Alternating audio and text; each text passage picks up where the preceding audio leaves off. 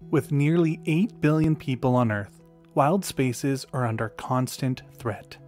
And with those wild spaces, the species that live in them are often reduced to populations that are only a fraction of their original size. This is part 2 of my series on extremely rare animals. In this video, we're looking at 10 of the rarest species on Earth. Welcome back to All About Nature. On my channel, I try to bring nature related content that's both educational and entertaining. If you like this kind of content, please consider liking the video, leaving a comment, or even subscribing to the channel. I also want to say a special thanks to my patrons. It's thanks to their ongoing support that I'm able to produce a new video every week. If you want to join me on Patreon and get 24 hour early access to every video, check out the link in the video description below. Now, let's get into the video.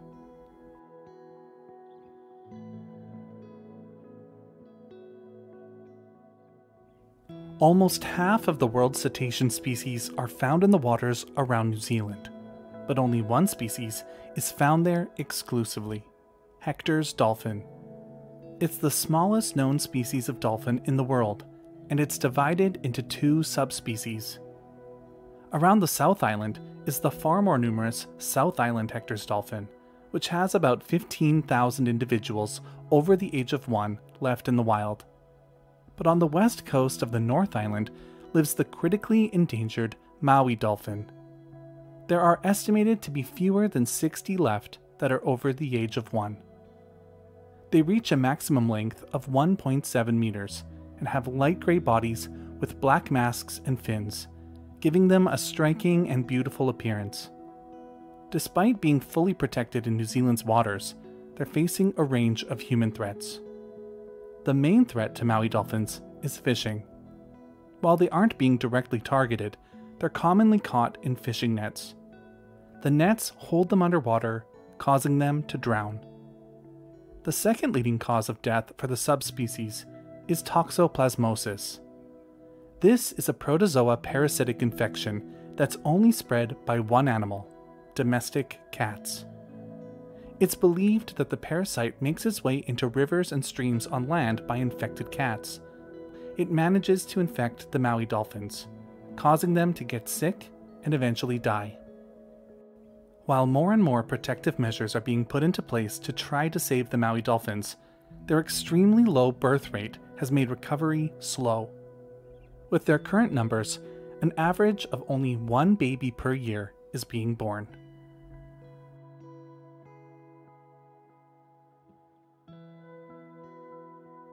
The Yangtze giant softshell turtle is one of the largest freshwater turtles in the world. It's known to live in the Yangtze River and Lake Tai in central China, as well as a small region of southern China and northern Vietnam. They've been hunted for centuries for their meat and for their shells, leading to them becoming extremely rare by the 21st century. It's one of the most secretive species of turtle, mostly staying deep underwater and rarely surfacing to breathe. This has made it really difficult to know how many wild specimens actually still exist in the world. In the early 2000s, only one female was known to still exist.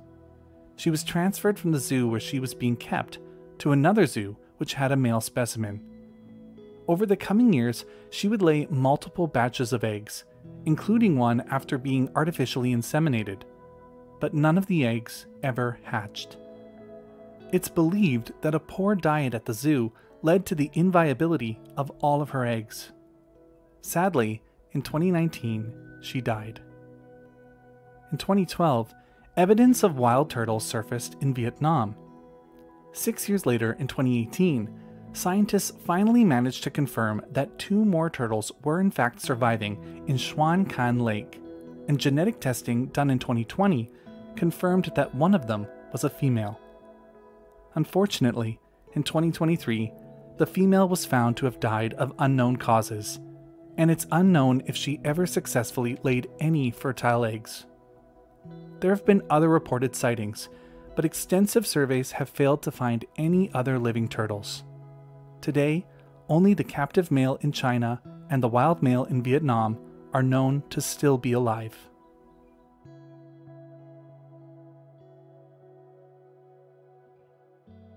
Sharks are famous ocean predators, but not many people know that they occasionally wander up streams and rivers.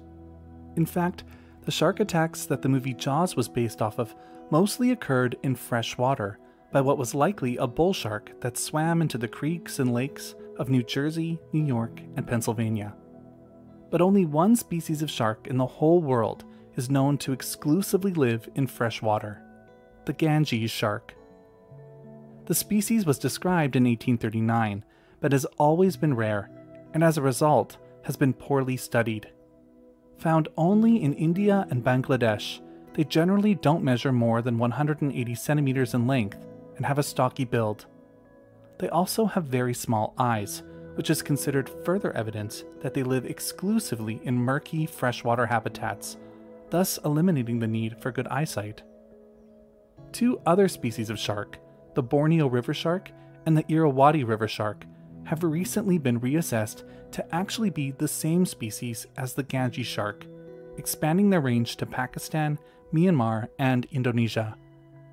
Despite this, they remain extremely rare. Their river habitats are heavily exploited and polluted by humans, and fishing continues to threaten the species.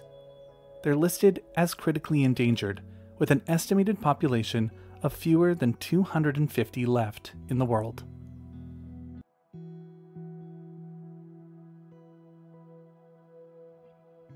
The Mormon metalmark is a species of butterfly that ranges from the midwestern US to the Pacific Ocean, from parts of southern Canada down to northern Mexico. While it is wide ranging, the populations are highly disjointed, leading to differences in morphology, host plants, and genetics. At least 20 subspecies are recognized, and one of them is considered to be among the rarest butterflies in the world.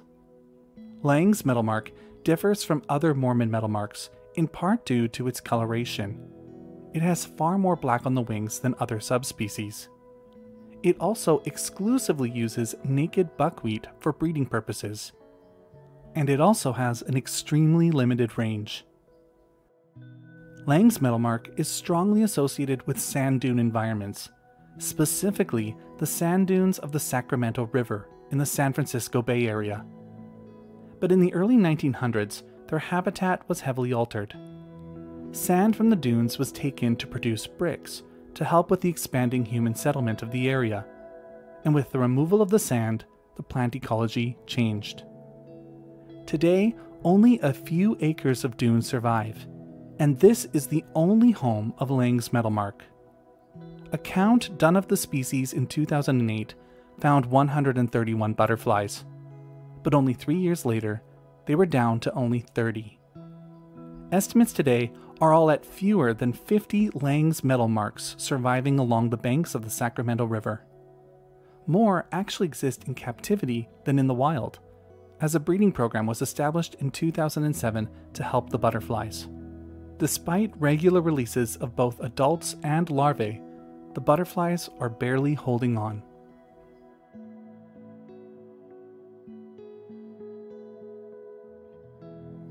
Off the west coast of Canada is Vancouver Island. This large Pacific island is about the same size as Taiwan and home to one of the rarest mammals in the world, the Vancouver Island marmot. Canada has only five endemic species of mammal, and this is one of them. The Vancouver Island marmot is a large rodent with males weighing as much as 7.5 kilograms. They differ from other marmots genetically, behaviorally, and morphologically.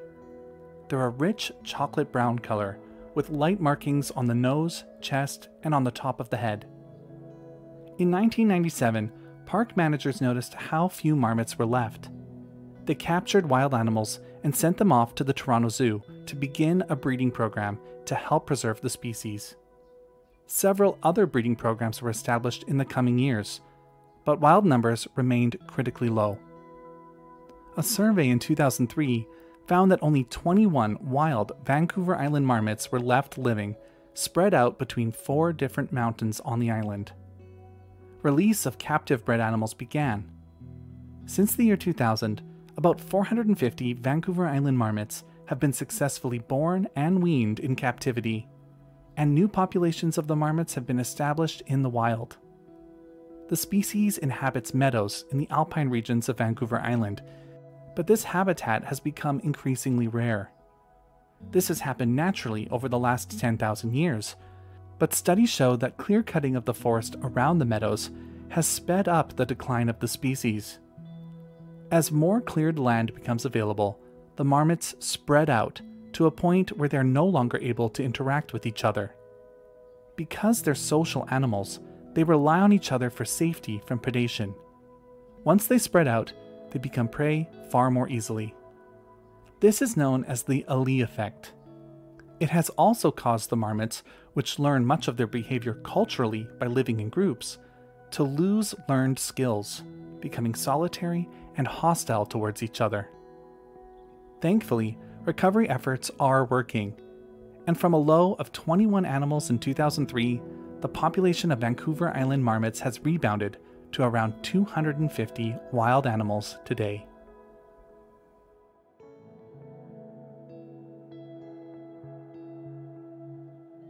In the Ethiopian highlands is a canine so rare that it carries the title of Africa's most endangered carnivore.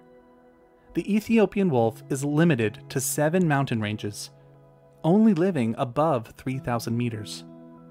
Traditionally, local people groups didn't hunt the wolves, as they believed that anyone who wore their skin was likely to die. Nonetheless, by the time it became known to Western science, it was already quite rare, and by the 1930s, they were already recognized as needing protection, but they wouldn't receive it until 1974. Unfortunately, around the same time was the outbreak of the Ethiopian Civil War, which was devastating for the wolf populations. Being shot by soldiers was a regular occurrence, and at the same time, an intense rabies outbreak decimated Ethiopian wolf packs.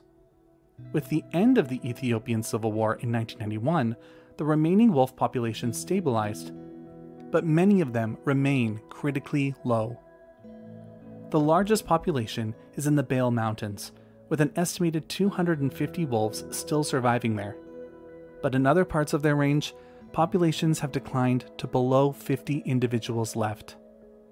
There are estimated to be fewer than 400 Ethiopian wolves across their range today, and they continue to face serious threats. Habitat destruction, overgrazing by cattle, hybridization with domestic dogs, and ongoing persecution from farmers means that their numbers continue to decline.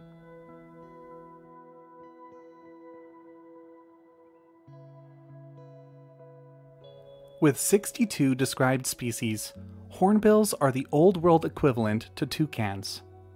Perhaps the most famous hornbill is Zazu from The Lion King, but the variety and beauty of these birds stretches across Africa, Asia, and Melanesia. In the Philippines lives the rarest species of hornbill, and one of the rarest birds in the world, the Sulu hornbill. Originally found on the islands of Jolo, Sanga Sanga, and Tawi Tawi, the birds have been hunted to extinction on two of the three islands they used to inhabit.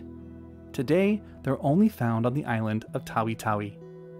The Sulu hornbill is a large black bird with a white tail.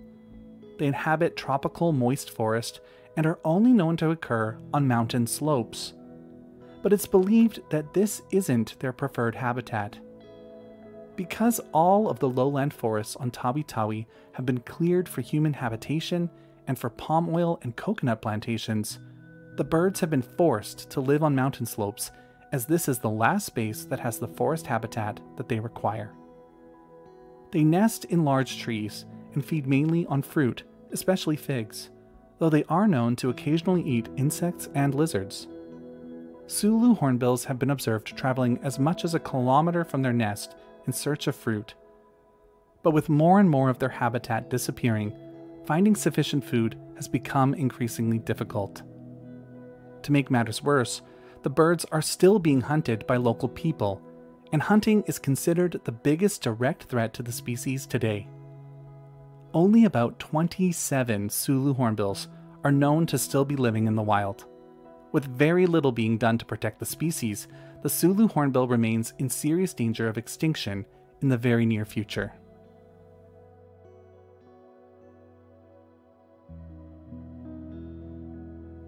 Found only in the Tumnin River of eastern Russia and the Sea of Japan, the Sakhalin sturgeon is a critically endangered species of fish. As with other sturgeons, they're huge, growing to as much as two and a half meters in length.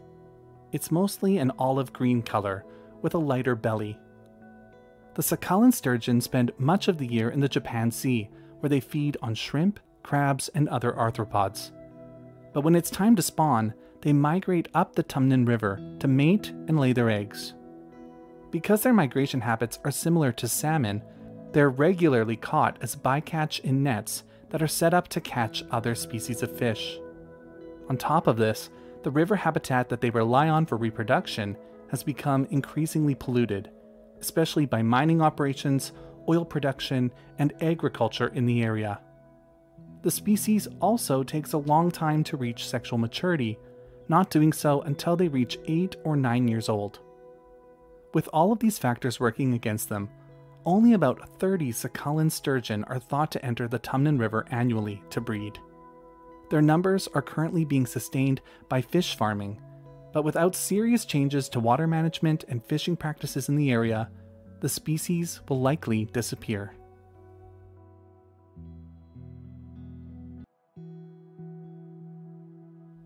On the island of Vangunu in the Solomon Islands, rumors of a large orange rat were circulating. It was said to be over a foot long and living a secretive life in the small patches of remaining forest on the island. Unfortunately, no one could find it. After years of searching, researchers finally got their lucky break in 2015. As loggers were cutting down a 30 foot tree, a park ranger happened to be nearby watching when he saw an animal come crashing down from the canopy. Unfortunately, the animal died from its fall. But fortunately, the ranger recognized the animal as the rumored giant orange rat of the island, and he collected its body to be sent off to researchers. Just as the rumors had claimed, it was in fact a rusty orange color, and it measured 46 centimeters long. Examination of the skeleton, skull, and DNA confirmed that it was a new species, and the Vangunu giant rat was scientifically described in 2017. Known locally as Vika, it's believed to eat nuts, coconuts, and fruit. While it hasn't been formally assessed, researchers believe that it's likely already critically endangered due to the limited available habitat on Vangunu Island. After the initial discovery, the rat wasn't seen again for six years until 2021, when a series of camera traps were set up in the last remaining lowland primary forest in an effort to capture footage of a living individual. Four Vangunu giant rats were captured on camera, giving a glimmer of hope for the species. Unfortunately, the last of the forest habitat available to them only measures about 80 kilometers squared, and there are plans to continue logging it.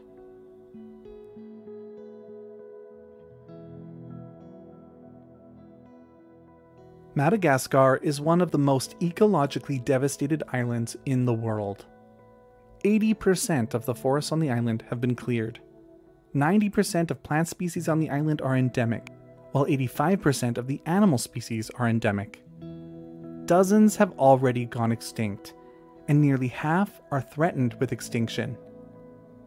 Madagascar has around 75 species of chameleon, and one of them is among the rarest reptiles in the world on the southwest coast of the island is the municipality of Belalanda. One of the primary sources of fuel in the area is charcoal, and in order to produce it, large numbers of trees need to be cut down. Over time, the native forest was entirely removed and replaced by non native trees. In 1970, a pair of herpetologists were visiting the area searching for new species of chameleon when they stumbled on a large green species with a white stripe down the side and white lips. It was officially described, but it didn't take long for scientists to realize that the Belalanda chameleon was already in peril. The last of the species were living almost entirely on the non native trees that had replaced their original forest habitat. And these trees were still regularly being cut down for ongoing charcoal production. The chameleons also had a tiny range of no more than 4 square kilometers, and their numbers were dwindling. Not only were their trees being cut down, but they were also being routinely hunted for the pet trade. The Belalanda chameleon has become so rare that they've gone as long as 15 years without an official sighting. It wasn't until 2009 that a formal study of the species began, and in 2010, a small area known as PK32 Ranobe was protected to help local endemic species. The chameleons are still monitored within the protected area, but the actual number of chameleons existing in the wild isn't known, as they dwell in the forest canopy, making spotting them extremely difficult. Current estimates put the number of wild Belalanda chameleons at fewer than 250, but with the protection of their habitat, there is hope for their recovery. And that's it for today's video. Do you know of any other species that are extremely rare? If you liked this video, you might want to watch part 1. Click the thumbnail on the screen to check it out. Thanks for watching, and I'll see you next time.